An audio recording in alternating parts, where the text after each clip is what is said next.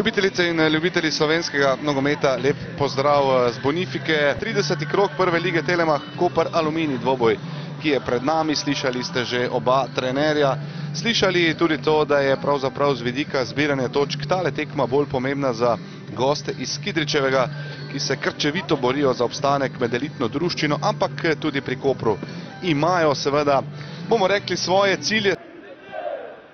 Rovedl je padel, nič od prekrška, to da žoga ostaja pri Koprčanih. Tole je bil dober poizkus Andraža Rovedla.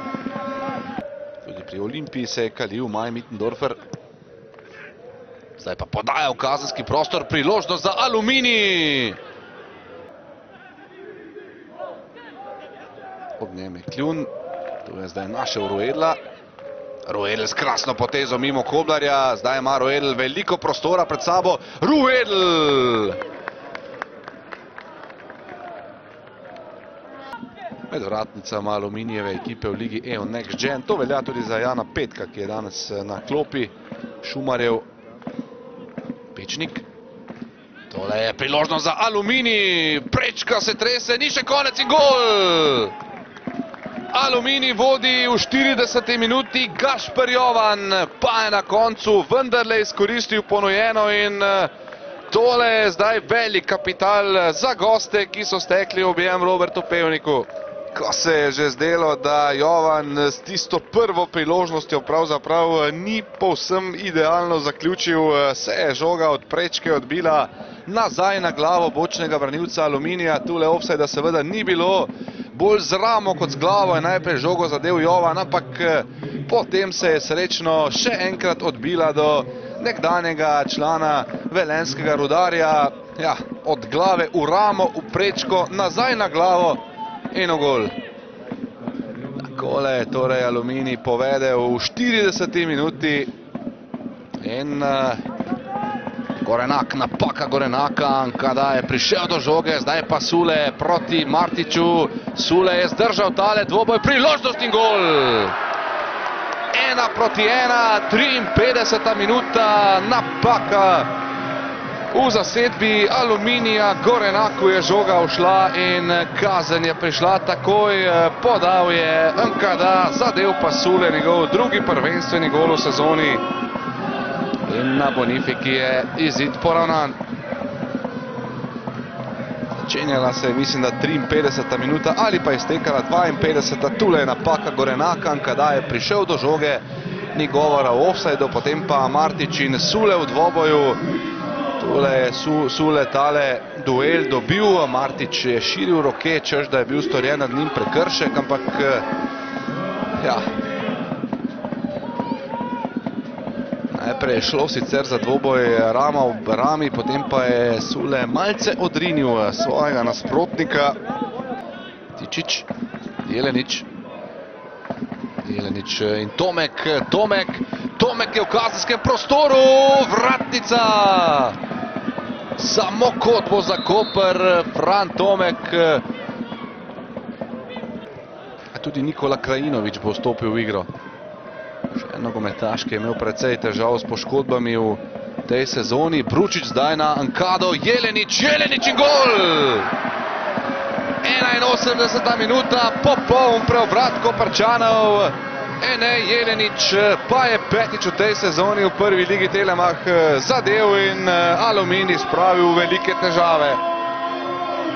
Izjemno pomemben trenutek, ne le tekme, morda kar sezone, ne toliko z vidika Kopra, ki zdaj vodi bolj z vidika Aluminija. Bručič je podal, potem pa je Nkada nekako spravil žogo do Jeleniča, ta je zelo mirno zaključil in Koper je povedel z dve proti ena. Še druga asistenca za Nkado.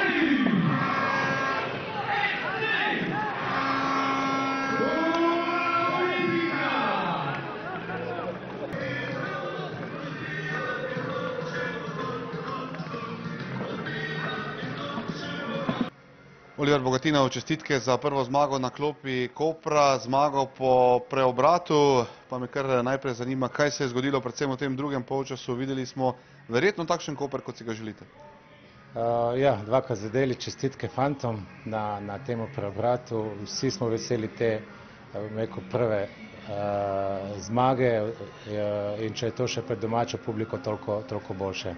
Uh, ja, malo, malo smo zaropotali na polčasu, uh, predvsem, da, da poskušamo še nekaj več dodati, ker uh, mislim pa, da roko na srce, tudi prvi polčas je samo ta pika ne manjkala, veliko priložnosti, uh, tudi ko smo prihajali not v, v, v 16-metrski prostor, smo bili v, v lepih situacijah, nismo zadeli, uh, tako da res potem drugi polčas, ja, dodali še malo, malo več, uh, ravno v tej učinkovitosti in, in mislim, da danes zasluženo zmagali.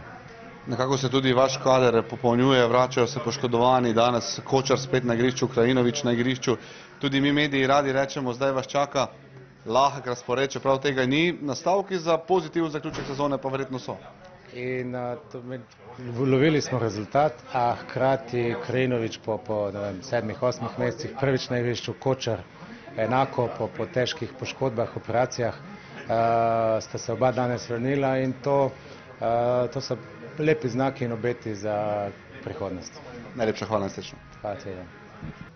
Timothy Nkada, congratulations on the victory. Uh, another good team performance, especially in the second half uh, when you dominated the game, uh, scored two goals. Uh, a good day here in Koper. Yeah, yeah, yeah, for sure. Even in first half, I think we, we dominated the game.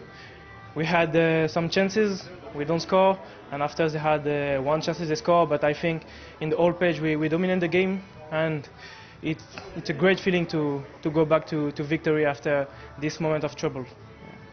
Your form is on the rise. Uh, goals are coming, uh, assists are coming. Uh, how do you feel right now? Uh, you look good on the pitch. Uh, everything goes your way. It seems it's a good uh, moment for a forward. Yeah, yeah, for sure. I feel great. I feel great. I feel great in the club, in the city, on the pitch, and I think it's going well. A lot of work, a lot of season in the back, where not everything was, was okay, injury. So I feel I feel great. Thank you very much and good luck. Thank you. Thank you. Sandro Ivanovič, razplet tekme, ki si ga zagotovo niste želeli v polčasu, je kazalo dobro. Predvsem me zanima, kaj se je potem zgodilo v nadaljevanju. Ja, vo- vodimo polčas na nič. Vedeli smo, da bo drugi polčas eh, težek, da bomo pod pritiskom. Ampak glavni cilj je bil držati ničlo v zadnji liniji, ampak eh, danes se ni išlo. Ne vem, nek pad koncentracije, dva naivna gola in nismo danes eh, dosegli svojega cilja tu v Kopru. Zdaj pa sledi, bomo rekli, kar verjetno tekma sezone, eh, dvoboj z Radomljami, še ena težka preizkušnja, kot so vse v naši ligi, a vendarle tekma, ki bo verjetno štela nekaj več. Pa ja, tekma z Radomljami, verjetno, tako kot ste rekli, je tekma sezone. Ampak moramo vseeno eh, iti v to tekmo brez pritiska in na glavo. Najlepša hvala in srečno. Hvala.